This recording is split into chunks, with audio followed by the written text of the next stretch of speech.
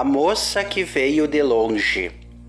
A Moça que Veio de Longe é uma novela da autoria de Ivani Ribeiro, sob o pseudônimo de Valéria Montenegro, baseada no original de Abel Santa Cruz, com direção de Dionísio Azevedo.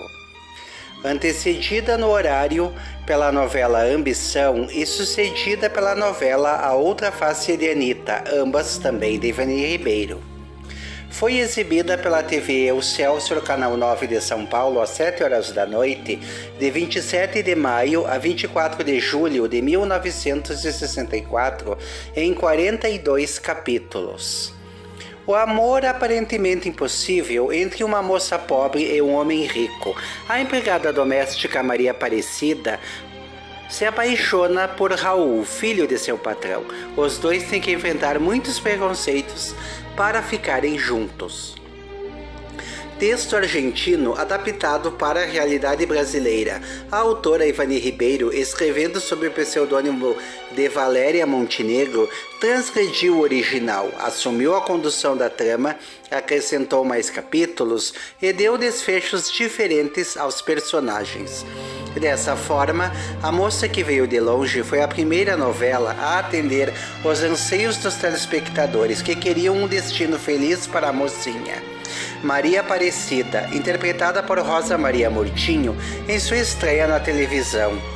Também a estreia de Hélio Souto, fazendo para romântico com Rosa Maria, que passou a dividir com Tarcísio Meira e Carlos Zara o título de galã da televisão daqueles tempos. Com essa história, Ivani Ribeiro assumia o posto de principal escritora da teledramaturgia no país na época.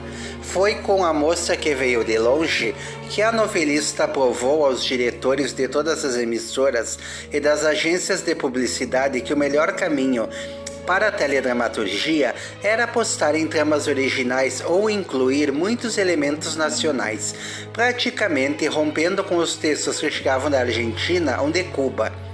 A autora acrescentou episódios, ampliou a quantidade de personagens, mudou desfechos e entregou ao público a história que ela desejava estava implantada uma característica fundamental para o sucesso de uma novela: transformá-la em uma obra aberta, sujeita a alterações com base na reação de quem a acompanhava.